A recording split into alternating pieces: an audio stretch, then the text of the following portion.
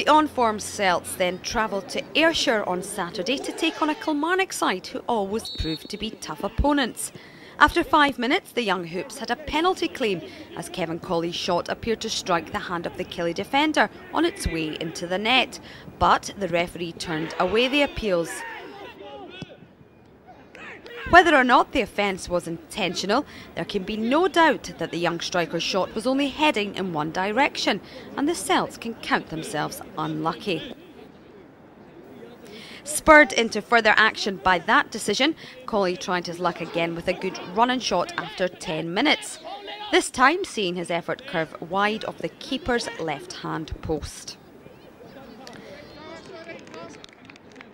As coach Willie McStay looked on, his side finally took the lead in bizarre circumstances after 22 minutes of the game.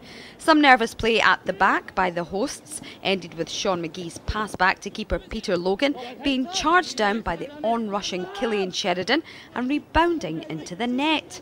The on-form striker has scored some fine goals recently, but he will welcome this one just as much.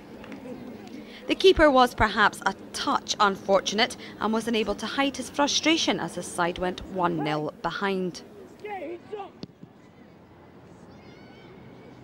Two minutes later, it was the home side's turn to exert some pressure. After the initial cross was cleared, winger Paul Callaghan lost possession in a dangerous area.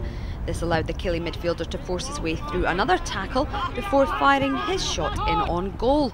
Only a good diving save by keeper Paul Skinner and a scrambled clearance by skipper Paul Caddis kept the scoreline at 1-0. After half an hour, a strong run and shot by left back Danny Lafferty led to what the Celts thought was their second goal, again scored by Cillian Sheridan. Unfortunately for the Hoops, the big Irish striker was deemed to have been in an offside position and the goal was chopped off.